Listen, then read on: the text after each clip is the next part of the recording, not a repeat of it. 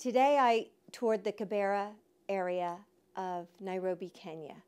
It's uh, one of the largest slums in Africa, and approximately 1.5 million people live in a two square mile area.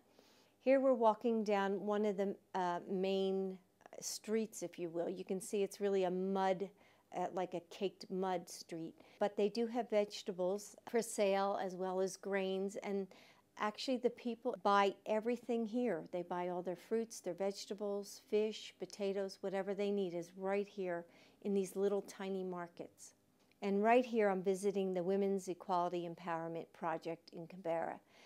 And here, the women are telling me their stories. As you can see, the founder is to my right. Her name is Vicki Winkler.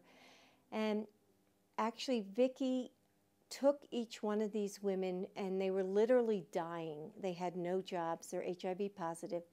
And she taught them a skill. She taught them how to sew. And here they're telling me their stories of survival. Most of them are not in school, and uh, many of them are victims of domestic violence and they're vulnerable to HIV/AIDS. And it tries to uh, teach them skills and ways to deal with a lot of the challenges they face by living in the slum. This woman, Aaliyah, is one of the young women who's uh, a role model for many of the other young women.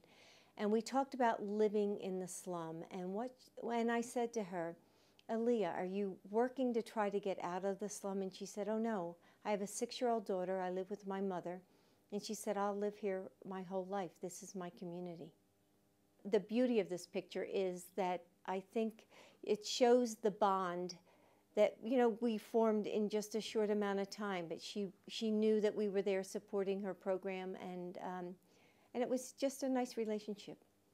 This is like the poverty of poverty, and uh, what I took away from it was that there is really a true sense of community here. You had to come away, even though it's almost unimaginable, uh, the poverty, with a sense of true, uh, the strength of the human spirit, and it was there.